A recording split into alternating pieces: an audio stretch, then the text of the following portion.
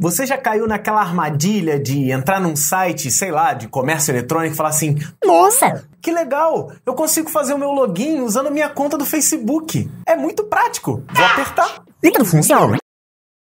Pois saiba que na semana passada o Facebook foi hackeado e talvez vários dados seus, incluindo seu telefone, número de cartão de crédito, o que quer que seja, pode estar nas mãos de hackers.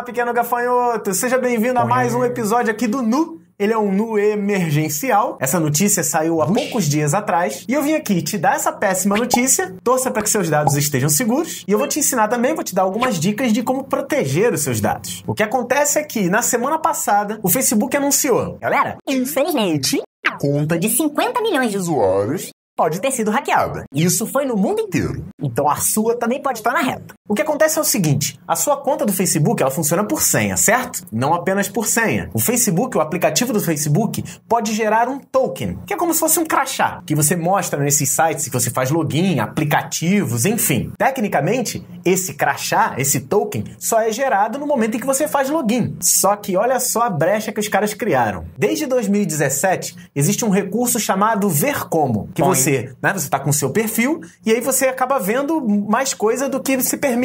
Aí você tem lá, ver como fulaninho. E aí você vê o seu perfil como se fosse um amiguinho seu. O grande problema é que esse recurso, numa aplicação específica que foi gerar aquele vídeo de aniversário, ele gerava também um token. Os hackers descobriram isso e conseguiram gerar tokens de, segundo o Facebook, 50 milhões de contas. Isso não afeta só o seu acesso ao Facebook. Segundo o próprio Facebook, isso pode afetar também também os aplicativos que você fez login. Aquilo que eu falei no início. Sabe quando você vai nesses sites de compra e venda ou esses sites do que quer que seja que permitem login com a sua conta do Facebook? É uma praticidade muito grande, né? Pois é, agora os seus dados podem estar na mão de hackers. E a gente não tem certeza se aquilo que eu falei, o seu número de telefone ou número de cartão de crédito, a gente não sabe. Segundo o Facebook, as senhas não vazaram. Mas aqui, ó, cá entre nós, você vai confiar? Por segurança, no momento que eu tô gravando esse vídeo, o Facebook desabilitou aquele recurso do Ver Como, ele não existe mais, e eles fizeram o logout forçado,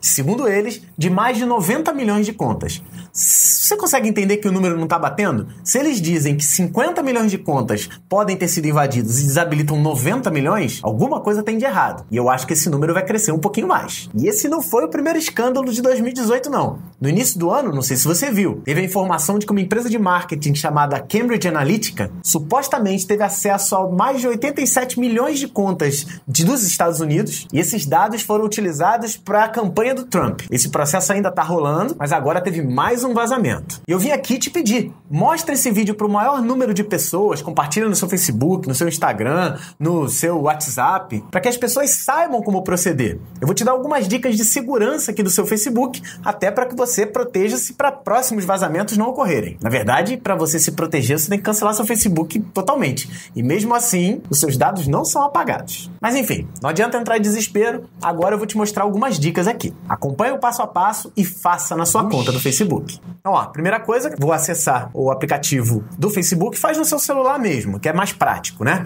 Você vai clicar aqui embaixo, ó, nesses três tracinhos, né, no hamburguinho lá de baixo, e vai escolher aqui, ó, configurações e privacidade vai abrir a aba Configurações e a primeira coisa que você vai fazer é modificar a sua senha. O Facebook diz que as senhas não vazaram, mas né, não custa nada. Você vai clicar aqui ó, nessa área, você vai clicar em Segurança e Login e a primeira coisa que você vai fazer é clicar aqui, ó, Alterar sua senha. Você digita sua senha atual aqui, a nova senha embaixo e redigita a nova senha e clica em salvar alterações. Eu acabei de fazer a minha alteração, eu não vou mudar aqui. Outra coisa que você pode fazer, ó, é acessando essa mesma página de segurança e login, vir aqui em cima, ó, onde você se conectou. E aqui você vai ver as informações de que computadores ou celulares eles estão logados. Se você quiser, você pode até clicar em Veja Mais aqui para ver todos os aplicativos em quais dispositivos. Ver se algum dispositivo você não reconhece e você pode clicar aqui, ó, nesses pontinhos aqui de baixo e dizer, ó, não é você e sair desse, desse aplicativo. No meu caso aqui, eu reconheço todos os logins. Verifico o seu aí também. E é importante o seguinte: altera sua senha antes. Porque pode ser que quando você disser aqui que não é você, se alguém invadiu sua conta, se alguém está usando a sua conta, vai ser avisado também. Então muda a senha antes, porque aí quando a pessoa for avisada, já é tarde demais, ela já não tem mais a sua senha. Outra coisa que eu te recomendo muito é clicar aqui, ó, em usar a autenticação de dois fatores. Isso é muito importante.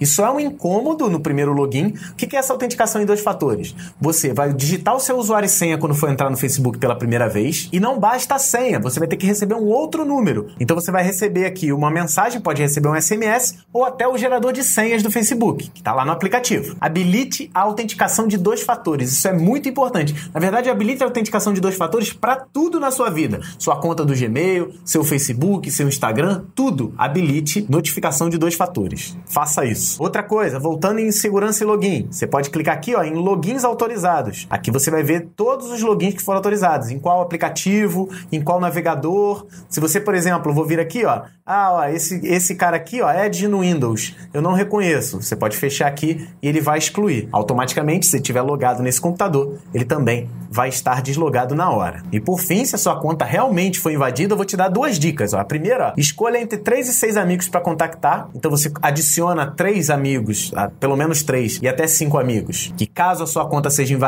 vão ser contactados pelo Facebook para mostrar que eles são seus amigos e que você realmente foi invadido. E eu vou te dar uma outra dica, ó. Abre o seu navegador e você vai digitar aqui em cima, ó, facebook.com barra hacked. Ó, exatamente como tá aqui. H-A-C-K-E-D. Hacked, hackeado. Você vai acessar ali, ó, e ele tem lá, denunciar uma conta comprometida. Você vai clicar lá, ó, minha conta está comprometida, e obviamente vai digitar seu usuário e senha, dizendo lá que você realmente foi hackeado. Outra coisa que você consegue fazer, ó, vou voltar lá no aplicativo do Facebook. Vou voltar aqui na, na página principal de configurações. Você pode ver aqui ó, em aplicativos e sites. Aqui você consegue ver quais são os aplicativos que você logou. Na verdade, eu não recomendo ficar logando com aplicativos, né? Então tá aqui, ó. Se você for aqui em conectado com o Facebook, você vai ver quais são os aplicativos que você tem conectados. Tá vendo? Eu não tenho nenhum aplicativo conectado, mas se você tiver, você pode ir lá e excluir. Você tem alguns inspirados também, que você pode né, tirar mas na verdade eu não conecto em aplicativo nenhum aqui. Talvez tenha alguns jogos aqui conectados, alguns aplicativos, ó, mas tá desativado.